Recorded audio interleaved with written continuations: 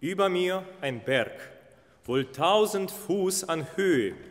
Unter mir ein Fluss, wohl tausend Faden tief. Ein Streifen des Himmels, dicht umstellt von Felsen, nur eben breit genug für eines Schiffalls Enge. Bei Chütang gähnt ein schroffer Felsschlund. Bei Yenjü sperrt ein Inselriff den Strom. Düster weht um die Hänge schon lange, ehe die Nacht fällt. Und ohne Windhauch schäumen die weißen Wellen empor. Die großen Felsen gemahnen an glatt geschliffene Schwerter. Die kleinen Felsen gleichen dem Spitzzahn aus Elfenbein. Wir sitzen fest und kommen nicht einen Fuß breit voran, sind es noch immer 300 Meilen. Schwach zum Zerreißen erscheint mir das Schlepptau aus Bambus, schwächer der trügerische Halt für des Treidlers suchenden Fuß. Ein einziges Gleiten, und schon ist der ganze Schleppzug verloren, und mein Leben hängt an diesem einzigen Faden. Wohl kenne ich den Ausspruch, der Mensch vom aufrechten Herzen geht ohne Gefahr auf die Lande der Mann und der Mo. Aber wie könnte ich glauben, dass seit der Erschaffung der Welt bei jeglichem Schiffbruch immer noch Schurken ertranken? Und wie könnte ich, der in bösen Zeiten geborene, dem alles misslingt, vom Schicksal mir Gutes erwarten?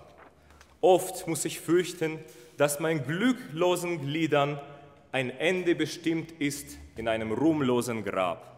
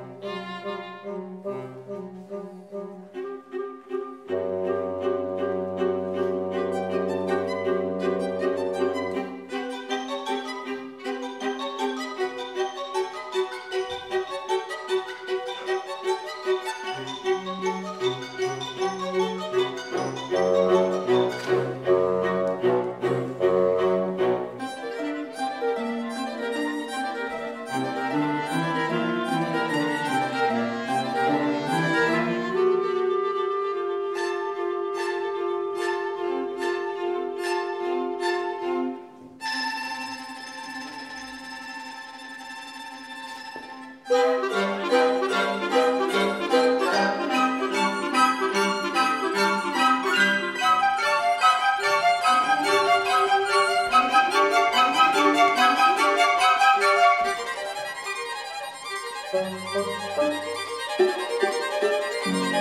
you.